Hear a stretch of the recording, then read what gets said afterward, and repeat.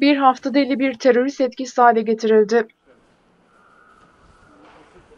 Güvenlik güçlerince 12-19 Haziran'da düzenlenen terör operasyonlarında aralarında aranan teröristler listesinde 3 ismin de bulunduğu 51 terörist etkisiz hale getirildi.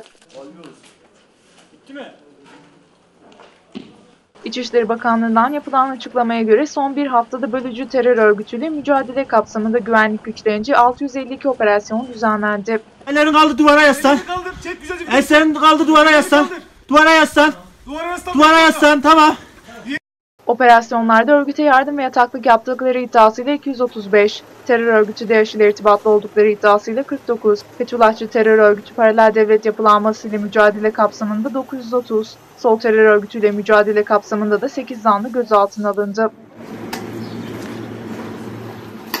Operasyonlarda örgüte yardım ve yataklık yaptıkları iddiasıyla 235, terör örgütü DAEŞ ile irtibatlı oldukları iddiasıyla 49, Fethullahçı terör örgütü paralel devlet yapılanması ile mücadele kapsamında 930, sol terör örgütüyle mücadele kapsamında da 8 zanlı gözaltına alındı. Etkisiz hale getirilen teröristlerden birinin bakanlığın aranan teröristler listesinde 1 milyon lira ödüllü yeşil, ikisinin ise 300 bin lira ödüllü gri kategoride bulunduğu belirtildi.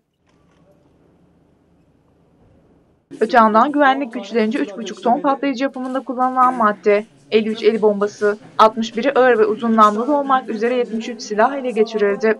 Şundan uzaktan kumanda. Terör örgütlerinin finans kaynaklarına yönelik 76.740 uyuşturucu operasyonunda düzenlendi. Diğer taraftan Hakkari'nin Çukurca ilçesinde devam eden operasyonda 5 terörist etkisiz hale getirildi. Bölgede yürütülen operasyonda 3 günde etkisiz hale getirilen terörist sayısı 16'ya yükseldi.